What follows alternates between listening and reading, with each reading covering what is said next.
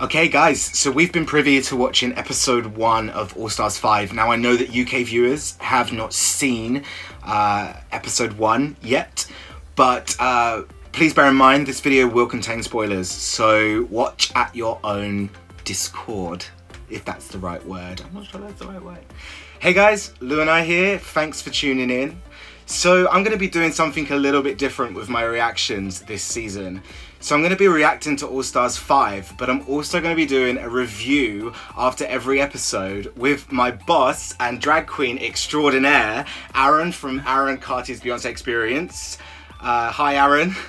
Hey, how you doing, Lewis? I'm very well, thank you. How are you? I'm good. It's so weird, like being having to do this on yeah. camera, considering we spend so much time together. Well, normally, you know, in the office. So. Yeah, I know. It's at least we're respecting social distancing, so that's good.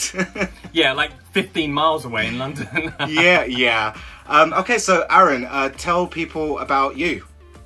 Yeah, so uh, Beyonce Experience is actually five this year. Can you believe it? Five years old. Uh, we've had an amazing run so far. You know, we've literally traveled the world. We've done New York, LA, Vegas. Obviously, we've performed around the UK countless amount of times. Uh, Lewis, I do remember my first ever show at Troxy. Yes. Um, in January 2016, which you came along to. I did. Little did I know you were going to leave the business like. two months later, you little traitor. I did. I did, yeah. uh, but you know, you, are back. You know, you've been back what, almost almost a year now, isn't it? It's coming. Yeah, it's it's yeah, almost a year. It's time has literally flown by. So we've always always done this. We have, yeah. but we've never done anything like this before. exactly. And do you know what? And I think your reaction videos are so good, and Thanks. we all know that is exactly what you're like when you watch something anyway. So it's great yeah. that you get it on camera. But I thought, you know what? We should we should start reviewing this as well. You know, my experience as a drag queen. You know, a lot. Of, I know a lot of the um, the RuPaul girls as well as you do. Yeah. So I thought it'd be great to to be able to you know discuss it, have a little bit more of an insight into it, and get to it. Yeah, I completely agree. All right, so you know what? I've, I've got to start with the entrance looks. Okay, you know, let's start. it's so interesting watching the intro, uh, you know, the entrance looks because they all come from so many different seasons. I love mm. that so many girls are from season three. Yes. Um, you know, it, I think it's a time where the show is very, very different to see them come back and have that same opportunity. Um, the one thing I found though is that you know, when girls used to come through the workroom and then be on the show, you could see that they'd have such a character arc and such a growth, mm -hmm. you know, mm-hmm. but now they come ready, you know, they come like they look like a million dollars the entire time. Yeah, completely. Like, and I think I said in my reaction actually that like the queens from the past seasons, like going back all the way to the beginning, they they're coming with like vengeance. They've got a goal, they've got a mission, but also they need to prove themselves a lot more than the newer queens, let's say, because they've got a reputation to uphold as well. Yeah, they really do. I mean, when I, I've got to laugh though, I must. When I saw Alexis Mateo walk through the workroom, honestly, I thought to myself, that's the same thing you wore in like the finale. I'm sure it was. That bitch has not changed anything. I I actually mis mistook uh, Alexis Mateo for Ongina, and I felt so I bad. I felt so bad about it after, and people have actually commented and been like, "Oh my god, I can't believe you you made that mistake." And I genuinely hold my hands up. It was an honest mistake. You know what I Although, mean? Saying that when I Ongina walked through of what she was wearing, you couldn't tell who that was. You know, that could have been a storm. That could have been a stormtrooper. Yeah, that could have been anyone. Hundred percent. It was so over the top, um, but you know. Who were who were you most uh, who were you most shocked by when they walked through? Well, I wouldn't say so much shocked, but like the person who stood out for me the most was India Ferrah. Like she came in with with like a performance art to her entrance. She had like she was covering herself and she and then she revealed herself, and I was like, oh, you know, I don't know. She just stood out for me more than everyone else. Like, there's no one you know that what? really. Yeah. That's in, that's interesting. You know, India Ferrah for me. She, again, she's another one. I walked through and I was like, bitch, you haven't changed. That makeup is the same face you were doing in season three. Yeah. Although I was so happy when Jujubee came in. Do you know what? Jujubee can say anything and I'll just I'll just crack up laughing. Yeah. I just love her. I, I loved Jujubee's entrance. She looked like she was coming straight out of Devil Wears Prada. She was yeah. just like, I'm like a businesswoman couture, but like fierce. Like it was just epic. Like I, I love Jujubee so much. Yeah, what was her line? I'm dressed for all of your funerals. yes, Yeah. bitch, come on. She is coming. And then she, is did the um, the printer uh, remark about like the ink. She was like, "We're all the colours of the printer," and then we run out by the time we get to Miz Cracker. That made me laugh. That was Yeah. fun. That was fun. That's, hila- that's hilarious. Bless and Claire, uh, she is grown, Ah. but she is. Uh, I was like, wow, that is a that is a grown woman. Blair St Clair for me is a complete glow up. Like it's been about what three years since her season, and she's Yeah, grown in her years. drag as a person. She came in, and I was like, she was almost unrecognizable. She was. She was a woman. However, when they switched to her confessional, I was like, that's still a little twink, you know. That's still that cute little boy. Bless her. Bless her. I actually thought the same. I actually thought the same about Miz Cracker as well. I was like, damn, that is some cute. That's some cute confessionals we're going to be watching. Oh yeah, I've always had a little bit of a crush on Miz Cracker. Do you know what? I haven't. I, I definitely haven't. But in that confessional, I was like, mm, okay. yeah. Let me uh, let, let me Google that. So, uh, I mean, the gag of the season is how they're doing it this year. I mean, I can't believe that, you know, the you know the the top queen is going to have to choose who she wants to leave, but at the same time, the uh, the whole uh, lip sync assassin is just such an incredible mix. I completely love that twist. It brings something fresh and something new to the show as well. You know, while we're on that, let's just talk about the fact that they had Yvie Oddly as like the first lip sync assassin. I mean, come on, you no one's going to win. No one's No gonna. one as soon gonna as win. as soon as she was revealed, I was like, there is no way that anyone's gonna beat her. No, No way. no way, no way. She should just be the assassin every week, you know. I think she should. You know, I really think That- she should. I was ten thousand dollars is going to roll over and roll over and roll over. who who would you like to see like be a lip sync assassin? Do you know what? I want to play devil's advocate there. As soon as I knew that they were doing that, I was like, okay, Shea Coulee. Hmm, who could she go against? Where she, where she, where could she get some redemption? I think they should bring back Sasha Velour. Exactly. I was like, bring back Sasha Velour. Put you know, but have her on standby, right? And if Shea makes it to the top, make her lip sync against her because isn't that what we all want to see? Yeah, that would be epic. it would be epic. You know, I think this season, I think it's great that all the girls are going to get to vote this Yeah. this season. I think what a great way of you know mixing it up. I think that's something they should have in in every season. You know, give the girls a voice, um, and you know Yeah. that's going to stir up some tea and some shade For in sure. the workroom. You you saw with like Mayhem when she was talking to India and she they made this like pact like if I'm ever in this situation you'll help me out but that could backfire because it might not happen like that. You know, those pacts are never going to work. You start trying to make allegiances, it's just it's just not going to work out, and there's going to be some daggers are going to be thrown. Hundred percent. You don't trust anyone. It's not RuPaul's best friend race, you know. Hey, come on, that line still reads true. It ain't. It ain't. Uh, but yeah, it'll be good to see how that works out, you know, because these allegiances never work. So let's see, let's see how that pans out. yeah. Um, so let's let's go into the main challenge then. I think you know it was quite. I liked how they went straight into the main challenge this season. Yes, Uh, me too. know, at the start, just get into it straight away. Get those girls on the stage and let them do their uh, their talents. But Mm-hmm. wow, were those talents varied? Let's just say some of them weren't so great. Okay, yeah. So go on. What was which, what was your best and what was your worst? Mariah's was the best for me. Uh, yeah, I mean, it, ha- it had such a great message. I to was it just as well. captivated, but I mean, I didn't get it at first when she started, and then as soon as I was, I, I mean, you didn't see the full reaction that I did because I obviously had to edit it, but I was just sat there the whole time, mouth open, like, like it, it was just captivating. She was, she was captivating, and it was an incredible performance, and it's so relevant now. You got to remember, this is something they filmed a year ago. and it's so relevant. And it's so relevant now, so that's amazing. And what about your worst? Come on. I mean- spill it, spill it. It had, it had, I, I, it has to be Derrick Ba- Barry. Like, I, I know it's Really? Yeah. Ah, it's- I don't know. Why? Well, Why?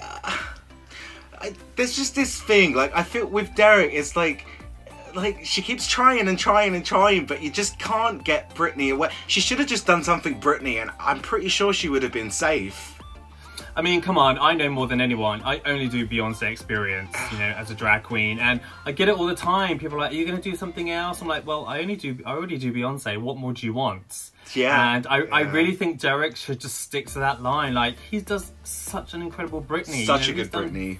He's done Vegas for God's sake as Britney. Like you're Yeah. not going to get any better than that. So do what you do well. I did agree with Michelle though that instead of doing trying to do so many other impersonations, just give us a bit of Derrick. Yeah. Yeah, be real, Yeah. like be you, be be Derrick, you know. That would have that would have come across a lot better, I think, than than it, It- did. Yeah, definitely. I did love how a lot of the girls did something from their past seasons, but for me, Yeah. I mean, it was probably my worst for uh, for Mayhem Miller. But actually, when I started when I started hearing that, I was like, that meme just came straight back. Same, like, same. It was like, "Ah." oh god, like she incorporated. That's why I like, like she didn't do the best, but that's why I liked it because she she brought something that's made her quite well known. Besides being on Drag Race, like that meme has gone everywhere. So she Yeah. incorporated that into the performance, and I think that's what I liked so much about it. Whereas on, think- like Ongina, for example, just dance to RuPaul's Drag Race songs didn't really have much of a. No, it didn't. I mean, they even said it. She ran out of steam so quick, coming down the runway, you know, in a in a car, doing two little makeup, you know, two two little reveals. Yeah. And I'm like, oh, I'm just gonna dance around for a little bit. I don't know what else to do. Yeah, it was. those performances for me were just a bit flat. Do you know what I mean? Like they could have given something a lot more. Who's not on the top of our lips? You know, who who's being left behind already? Jujubee. Uh, I mean, she did an amazing song. I didn't know that bitch could sing. No. Another string, another string to her bow. Everyone I had she was gonna come out chills. and do comedy. everywhere, chills everywhere when she was singing. Like I, I didn't know that she could do that, like that. It was just, it was Yeah. mind blowing to me because I know that there's a lot of queens that can sing, um, and not just lip sync. But I was blown away by Jujubee's performance and the emotion that she brought to the performance as well. Oh, it's it's so good to have the drag family back in the judges again. Yeah. Um, you know, having Michelle Ross and um, Carson there. Carson actually um, presented my show in New York. Oh, did he? that. yeah, yeah, which was amazing. That's Last minute thing. They're like, oh yeah, Carson's gonna come and present your show. I was like, okay, okay.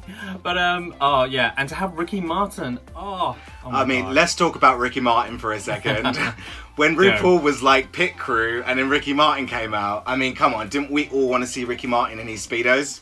Oh, totally. I mean, I remember growing up. I used I used to wish that Ricky Martin was gay, and my wish came true. So, Right? thinking about those judges' comments, like again, they, you know, it was it's it's always nice for them to come back, you know, for the All Stars girls and start Mm-hmm. talking about kind of how they've changed, how they've evolved, and I'm sure that will get there. Yeah. But for me, the the one kind of feedback they gave about Ongina, you know how you know Michelle was saying, you know, I can tell that you're obviously very nervous and it's showing through. Yeah. Um, you know, if, if that's what you're being given in season, you know, in episode one, uh, she's got a lot of work to do. She's got a lot of work to, but we have to we have to admit it is episode one, so you know she she might have time to grow and adapt. Or they'll kick that bitch out. There's Or they'll no kick her out. Come on, there's there's there's no messing around. This is all stars. Like Yeah. you have to come ready. There's no Oh, growth arc in this story. completely. You know? We and we do Uh, we do have to recognize that like the judges, the the resident judges do know these queens. They were there for I for mean, their you know, seasons. Michelle works for them. Yeah, Yeah. she works for them as well. Yeah. You know, so I mean, you know, for to have Mayhem and Derrick in the bottom two, were you expecting that? I think it was a toss up between Mayhem and An- Ongina, but I knew Derrick would definitely be there for sure. Oh, see, I didn't. I Did thought you it was not? going to be no. I was going for Mayhem and Ongina. Really? Yeah, I don't think. I mean, come on. Okay, Derrick, he took a risk, you know, and Yeah. he's an impersonator, so, you know, so he went and did 15 impersonations. Well, he said 15 impersonations in 60 seconds. There wasn't 15 people in there. It wasn't. There was like five. count, but uh, okay, so on, you know, onto the lip sync assassin. Yes. You know, that screen took forever to come up. I was like, who the It fuck did. is that? They had to build tension though. Like it, I, I was just like, I want to see who it is, but it was good because they kept us waiting, and then they revealed, and it was like, it didn't let me down. Do you know what I mean? It, It really didn't. I mean, you know, Yvie came, she came to slay. You know, she's giving you rig reveals straight away. She is still the bendy magician. Like, As soon as she started contour contouralizing, is that the word? Like Yeah, when, as soon as she started doing that, I was like, no, there's no way.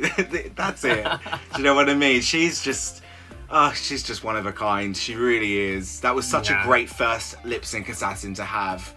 Sorry, I had to uh, uh, reconnect my uh, headphones because the other ones died. So he- continuity error. Right, I haven't had to change a wig yet or anything. yes, no. I'm, I'm cool. Um, okay, so let's talk about who did the right person go. In my opinion, yes. Oh, I knew you were going to say that. Yeah. I disagree, but go on. Out of Mayhem and Derrick, I just think Mayhem's got a lot more to give. Come on, she turned up, uh, you know, episode one in a twenty dollar costume Yeah. from like um, Amazon. Did you see that? She posted that. Was the- yeah, I did. Uh, yeah, okay, fair enough. But like, maybe it's just personal preference. I think I just I like I like Mayhem more than I did Derrick, so maybe it's just personal preference for me. Yeah, I know. Well, it'll be interesting to see next week to see uh, what Queen sent who home because you know that's gonna you know that's gonna come up. Oh yeah. and cause some friction, you know. But I, th- I felt, you know, I feel sorry for Derrick because I feel he had definitely something to prove, you know, in terms of being himself. And I, I, I really wanted to see more with him and uh, India Ferrah. I was like, this is, come on, we need some, you know, we need some real kind of feud of the season. We've not had a good feud for years. No, so- we haven't. I genuinely wanted some popcorn, which I have now. Um, I wanted some popcorn for their little spat they had in the workroom because I was just like, I'm going to sit back. I'm going to just watch this. This Yeah. is brilliant. Like, this, This is the is gonna drama go. we need, you know? This is yeah, absolutely. We have not had that since Coco Montrese uh, walked into the room with Alyssa Edward in what season five. So come on, we need we need some more. We need some drama. Come I on, know. Drag And Race. in that respect, that's I kind of wanted Derrick to stay because of that, because I knew there'd be drama between them and friction. yeah. Don't worry, I think there's going to be enough drama in this season. Well, like, let's hope so. seriously. So, so overall, are you excited about this season? Do you know what? I genuinely wasn't that excited about uh, All Stars 5 coming up. You know, we've just had season 12, we've just had Drag Race UK. I was a little bit burnt out, but after watching that episode, I was invigorated again. I was like, I'm ready Yeah. for this season. I feel the same. I mean, I took a I took like a season off for my reaction videos because I just felt there was just too much happening. You know? Too much, there is too much Drag Race. I did feel it's Yeah. getting a little bit oversaturated, but I think this All Stars has come at the right time. So Oh, we've got a lot to look forward to. It's reignited that fire in me. You know, like I watching it, I was just like, yeah, I've not felt that since for an All Stars season since All Stars two actually. Who is your who's your favourite so far to win? Ah, do you know what? This might be a bit controversial, but based based off of this episode alone, I'm rooting for India. Really, India? You want India? Oh man, we are gonna fall out this season. The I can thing see. Is. Miz Cracker and Shea are two of my favorite queens, but they Yeah. just didn't. For me, like I, when I look back at this episode, I'm not like, oh, they had like a standout moment. Like, yeah, Shea's performance was a bit like, oh, I was slightly turned on by it. It was quite sexy. yeah, you were. You were. I was. You were going for it. Um, but they didn't give me the wow factor that I was expecting from those two. Whereas India, it seemed like if this was like a centric episode, it felt like it was an India episode for me. Sure, and I guess also we haven't seen India for so long, so there's something there, you know. But um, I don't know. For me, I really want, I really want uh, Jujubee to win. Jujubee has been my favorite ever since season two, and she's really not been massively on the scene, you know, especially for Yeah. us in the UK. So Oh, completely. I'm I'm looking forward to, to seeing more of her anyway. So she is my she's my favorite to win. It, it, it would be a great redemption for her. Because didn't It- she do All Stars 1 as well? She did bless, you know. Come on, we don't we don't count that. Come on, we don't No. count season one. They didn't have a great time in All Stars 1, really, did they? They didn't. They really didn't. So yeah, just yeah, she's she's come back with a vengeance, and she'll she'll prove so much. Who do I think is gonna win? I think Shea's got it this season. I think I just think she was so close on her season Mm-hmm. against Sasha Velour. And she has grown so much. You've only got to see Yeah. how much of an artist she is now. It's it's incredible. Oh, completely. But I, you know what? I honestly think that her losing in season nine was probably a good thing because it's made her stronger. Definitely. And you And can she's- see that as well. Yeah, there's so so much more there. So exciting. It's very exciting. All right, well, uh, look, let's uh, before we start a fight over who we think's going to win or lose, um, we're gonna go. It's Sunday night. We need to sort some this shit out. Yes, but, uh, we do. Yeah, let's uh, let's get ready for se- uh, episode two. Yeah, okay. Okay, guys, so that was mine and Aaron's review of RuPaul's Drag Race All Stars 5, Episode 1. We're going to be doing this every week, so make sure to subscribe and also comment below on your thoughts, your opinions, and whether you agree with us, disagree with us. Uh, we'll try and comment back to you guys, um, and let's get a conversation started. And guys, remember, you can follow us both on social media, all the details are below. We will see you next week. Bye!